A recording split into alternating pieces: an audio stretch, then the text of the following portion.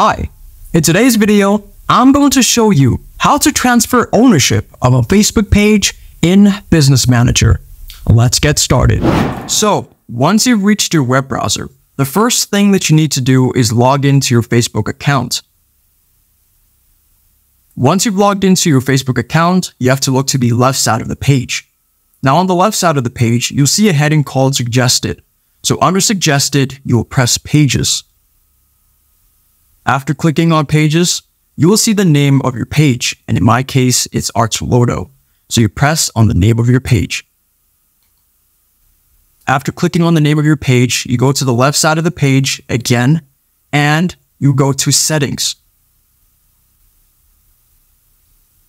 After clicking on Settings, you will scroll down a bit, and you will see something called Audience and Visibility. Now, under Audience and Visibility, you will see something called Page Setup. After you're done clicking Page Setup, you will see the name of your page. And in my case, it's Arts Lordo. And you'll see something called Page Access. Now, next to Page Access, it'll say View. So you press it. After pressing View, this would be the name of your account. So what you do next is people with Facebook access next to it, you press add new.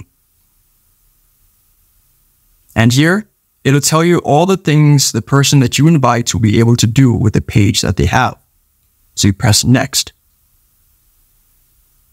After you're done pressing next, it'll say add new. So what you do is you search for the name of the person or the email address. I will use this person as an example. So it says here, uh, the person that you add will have all access to content, messages and calls, community activity, ads, and insights. So you scroll down. After you're done scrolling down, it will say, allow this person to have full control. So you give them access. You press give access. Once you're done, you just add your password.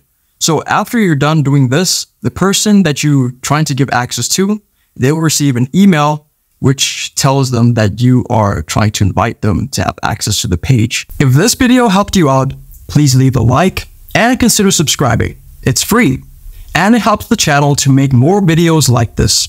Thanks for watching and see you in the next one.